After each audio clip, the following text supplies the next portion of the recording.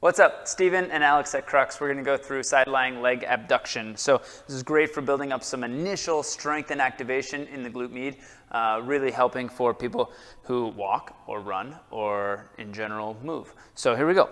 Um, Alex is going to lay against the wall. He's going to get his bottom side. So right now it's his left side. So bottom side, but against the wall. It's got to be touching, right?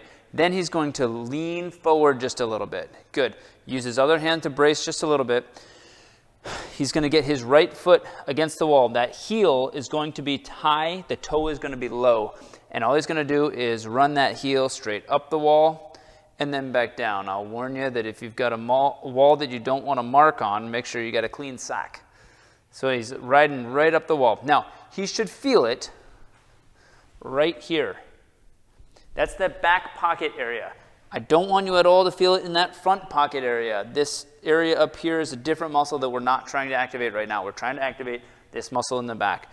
It's a very simple activation exercise, just up and down off the wall. You want to do 10 to 15. You want to feel that activation right through there. If you are not sure, put your thumb back there. Feel the activation. So Alex, go and show how you would set that back there. Perfect. So his thumb sitting right in the back pocket area just above that back pocket of his pants. Perfect. So side lying leg abduction, try it out.